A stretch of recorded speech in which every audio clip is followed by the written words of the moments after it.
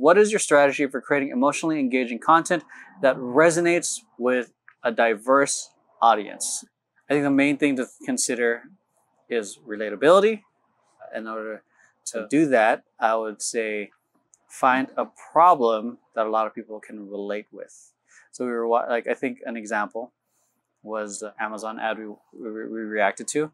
Um, so find a problem that many people can relate to. Whether that like health, wealth, and relationships are the are the biggest one. What's the biggest problem people have with a relationship? If it's or or with trying to get fit, you know, or how to make money, or so it's de- definitely start with regardless of what we call race, gender, whatever you identify with, people have some sort of have had some sort of experience with their health, wealth, or relationships. They want to get be more connected with their partners. They want to figure out like why their relationships are only lasting three months. They want to figure out how to get a partner in general. Mhm. So like that, like that's the first thing. Like Yeah. what problem am I trying to solve?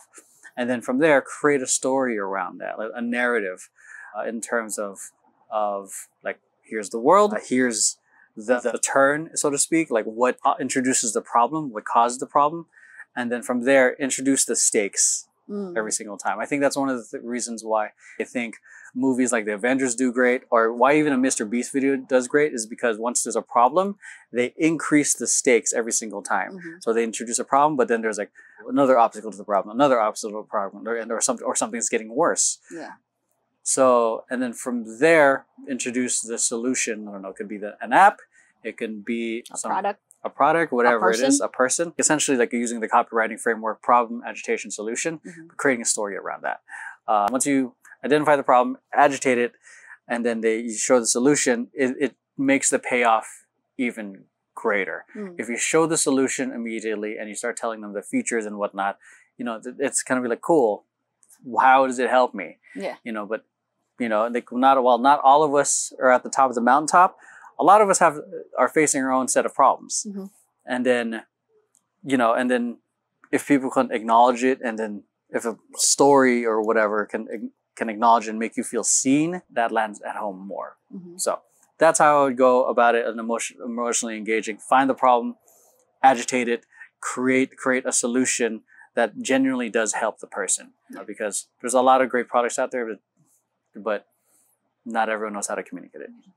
Yeah, I think it's a fine line to walk. Emotionally engaging and diverse audience. Those two things are, they sound and they seem like opposites of each other. Because if you're going diverse audience, you're trying to hit everyone. Emotionally engaging, not everybody feels the same way about the same thing. Yeah, So that's kind of like a hard line to walk. So you have to be like somewhere in the middle of that. So yeah, like it, you know, you can't just go broad and be like, yeah, everybody loves this, everybody has this problem. No, not everybody has that problem. Nobody can like you can you know like 30% of the audience will connect with it if your if your audience is everyone. yeah, Yeah, like you brought that up like you know the um, everyone goes through problems that have to do with health, you know, health, wealth and relationships. So find something from one of those categories or all of them and you know everybody reacts to the exact same problem basically the same way plus or minus a couple nuances like from person to person obviously because we're not a monolith we're Yeah. it's a it's it's a tightrope walk you're kind of like walking this like line where you're trying to get more more eyes on you you're trying to get more people to relate to it to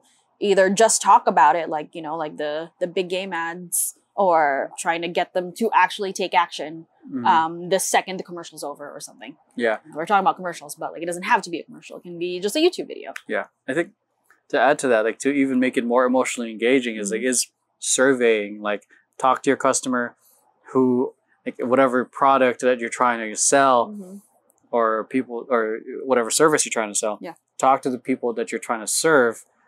That's where you find the patterns. Yeah. That's where you can that and you can narrow down the most common problems between all these people. Mhm.